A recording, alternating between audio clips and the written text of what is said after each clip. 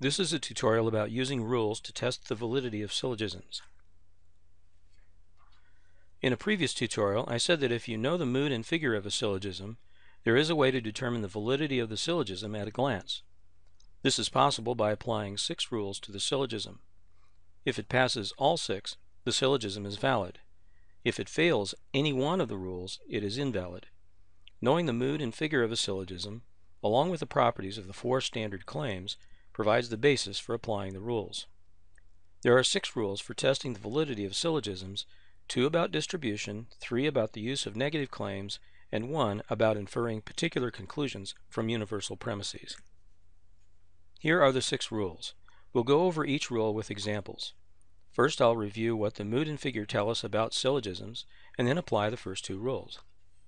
A term is distributed when it says something about all of the members of a category and it is undistributed when it doesn't say something about all of a category. The A claim says something about all of its subject term, but not all of its predicate term. So we say that the A claim distributes its subject, but not its predicate. The E claim distributes both its subject and predicate. The I claim doesn't distribute either one, and the O claim distributes its predicate, but not its subject. Remember that the mood of a syllogism is just the three letters of the types of claims that make up the argument. In this example, the major premise of the syllogism is all ducks are things that fly, which is an A claim. Minor premise is some things that fly have blue feathers, which is an I claim.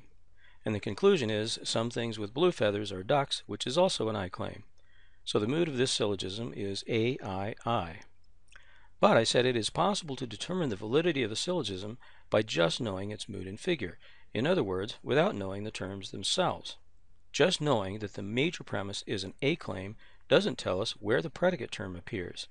The predicate term in the conclusion must appear in the major premise, but it can appear in either the subject or the predicate position. The figure of a syllogism indicates the position of the middle term. There are four possible combinations. We only need to consider the major and minor premises since the middle term never appears in the conclusion in a well-formed syllogism. Each combination is given a number, always considered in the same order. So a syllogism can be assigned one of four numbers identifying the position of the middle term.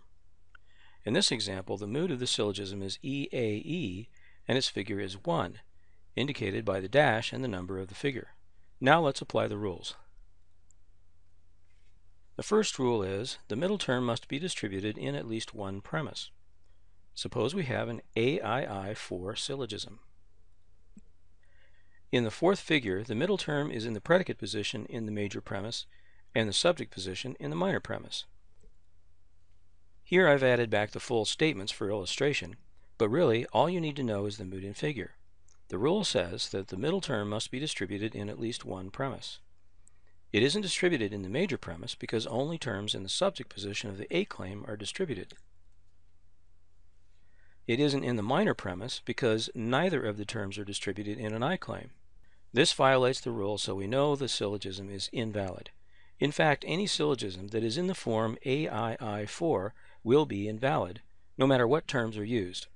Validity is determined by form, and applying the first rule shows that any argument with this form is invalid. Let's look at the second rule. It says that for a syllogism to be valid, if a term is distributed in the conclusion, it must be distributed in a premise. Here's an example of a syllogism in the AIO mood and in the first figure. The mood tells us that the conclusion is an O claim, and we know that O claims distribute the predicate, but not the subject. The predicate term is in the predicate position in the major premise of a figure 1 syllogism.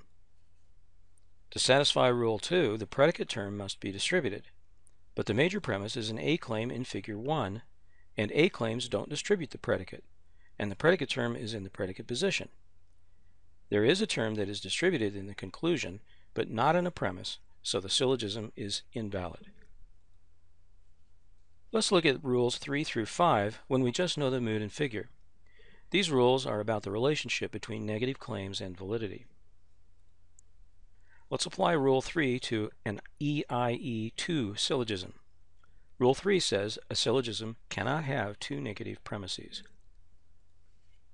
The major premise is an E claim, which is negative. but the minor premise is an I claim, which is affirmative. Since only one of the premises is negative, the syllogism doesn't violate Rule 3. Let's apply Rule 4. It says that a negative premise must have a negative conclusion. The major premise is an E claim, which is negative, and the conclusion is an E claim, which is also negative. So the argument doesn't violate Rule 4.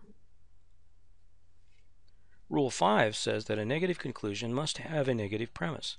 This syllogism does have a negative conclusion, and the major premise is also negative, so the syllogism doesn't violate Rule 5. Now let's look at Rule 6, which deals with particular conclusions. It says that two universal premises cannot have a particular conclusion. Since the conclusion is an E-claim, which is universal, we don't have to worry about this rule.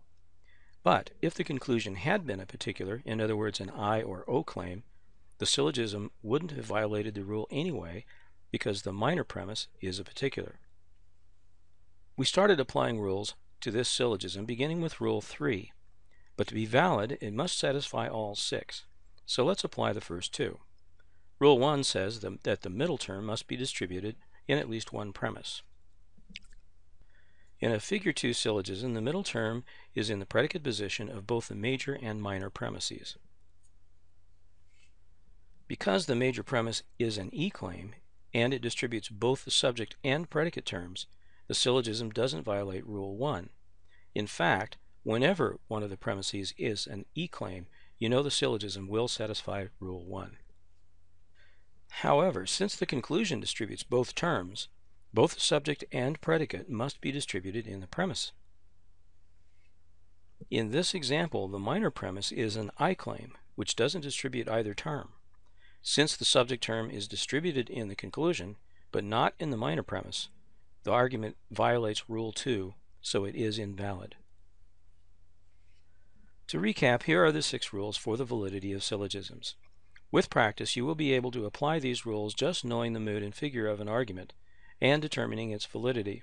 Remember, if only one rule is violated, the argument is invalid. So, as soon as you spot one rule violation, you don't need to apply the others.